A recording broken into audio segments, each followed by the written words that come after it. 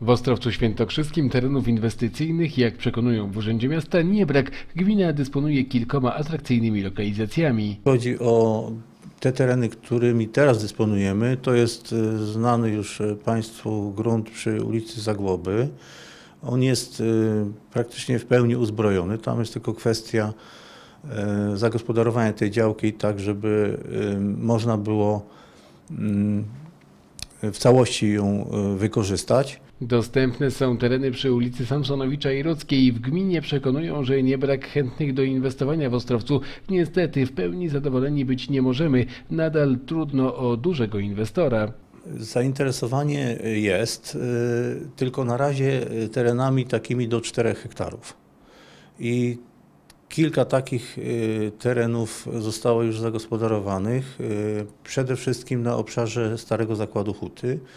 Natomiast y, w ofercie w tej chwili znajduje się teren przy ulicy Zagłoby Żeromskiego, tam 3,2 hektara. W gminie chcą za wszelką cenę inwestorów do miasta ściągnąć. Urząd Miasta włączył się nawet w sprzedaż terenów po cukrowni w Częstocicach. Niestety nadal nie ma chętnych do inwestowania w tym miejscu. Łączna powierzchnia działek, które tam się znajdują, to jest e, nieco ponad 6 hektarów, co składa się to z dwóch działek.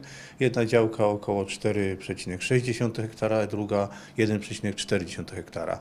My oczywiście jako gmina nie poszukujemy jedynie inwestorów na działki, których właścicielami jest gmina, ale także na działki innych podmiotów, zwłaszcza terenów poprzemysłowych. Gmina terenów nie może od cukrowni wykupić, będzie jednak poszukiwać inwestorów. Niebawem może pojawić się kolejna okazja na sprzedaż terenów. Do tej pory wpłynęło kilka ofert, jednak żadnej nie udało się sfinalizować. KST przygotowuje się do ogłoszenia drugiego przetargu na ten teren. My oferowaliśmy Krajowej Spółce Cukrowej mm, ofertę e, specjalnej strefy ekonomicznej Starachowice.